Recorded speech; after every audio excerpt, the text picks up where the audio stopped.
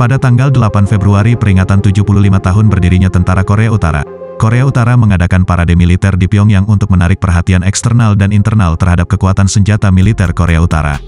Parade itu mencapai puncaknya dengan apa yang tampak seperti 11 rudal balistik antar benua, ICBM, HWASONG-17 dan 5 tabung besar yang beberapa berisi ICBM bahan bakar padat Korea Utara yang baru. Korut belum pernah menunjukkan sebanyak 11 ICBM dalam satu parade, apalagi 16. Inilah alasan sederhana, mengapa Korea Utara memamerkan ICBM-nya. Pemimpin Korea Utara Kim Jong-un memiliki banyak alasan untuk melakukannya.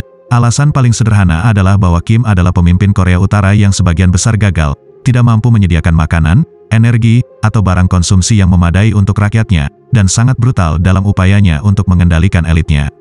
Oleh karena itu, dia mungkin percaya bahwa dia harus mengilustrasikan bahwa dia masih seorang pemimpin yang kuat, dan senjata nuklir, terutama yang dikirimkan oleh ICBM, membuatnya terlihat relatif kuat. Media Korea Utara mengklaim bahwa parade tersebut menunjukkan kemampuan serangan nuklir terbesar negara itu. ICBM yang dipamerkan juga menghasilkan perhatian media luar yang cukup besar, yang tampaknya sangat penting bagi Kim untuk tujuan pribadi, tetapi juga menggambarkan kepada rakyatnya bahwa dia adalah pemimpin dunia yang penting. Dengan Amerika Serikat benar-benar fokus pada invasi Rusia ke Ukraina dan ancaman dari China, Presiden AS Biden bahkan tidak menyebut Korea Utara dalam pidato kenegaraannya tahun 2023. Parade ICBM Korea Utara mungkin berusaha untuk mendapatkan kembali tingkat perhatian media untuk Kim.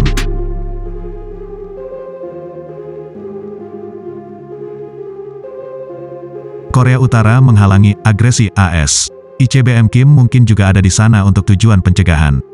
Selama bertahun-tahun, Kim telah mengklaim bahwa dia telah membangun senjata nuklir dan sarana pengirimannya untuk mencegah serangan terhadap Korea Utara oleh Amerika Serikat dan Korea Selatan. Sementara Korea Utara dapat mengancam 150 ribu atau lebih orang Amerika yang tinggal di Korea Selatan dengan rudal teater yang telah ia kembangkan, Kim tampaknya ingin ICBM menerapkan ancaman pencegah langsung terhadap Amerika Serikat.